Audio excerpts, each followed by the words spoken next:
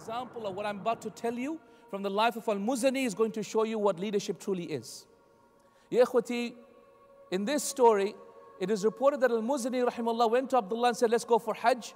And then before they started to pack for Hajj, Al Muzani went to Abdullah and said, So who should be the leader amongst us? The Prophet said, No one should go on a group in travel except they should appoint someone as a leader, right? Except otherwise, shaitan will be their leader. So let's appoint someone as our leader. So the student said, Who else? Ya Sheikh, you be our leader. Khalas, you are Amir, you are our Sheikh, you be the Amir. So Abdullah said, He said, Wallahi, ever since I, I said that, Ya Sheikh, you be my leader.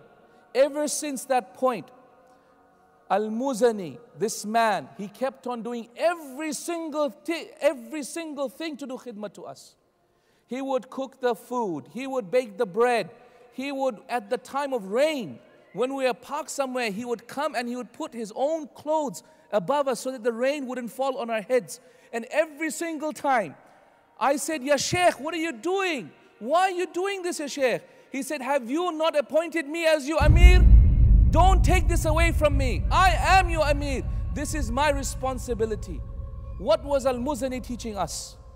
Do you know what Al Muzani was teaching us? Al Muzani was teaching us that an Amir is the servant of his people, that the exemplary human being is the one who is a servant of his people.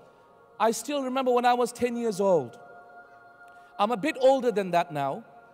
When I was 10 years old, I still remember I had appendicitis, a bit of a pain in my tummy that just started in the middle of the tummy, went to the right side over here. If you start getting right sided pain, just let me know. Okay, so I had this pain, and I still remember my father was like my servant. He, you know, he got me Panadol, he got me water, he showered me. When the pain was so bad, he picked me up on his back. I still remember. He picked me up on his back. He took me like a madman running into the emergency department. My son's sick. He's throwing up. He's got a temperature. His, his, his tummy is very sore. What's going on? My father was like my servant, yet he is my Amir. Because the essence of being a true exemplary Muslim is to be the servant of the people that you want to be an example for.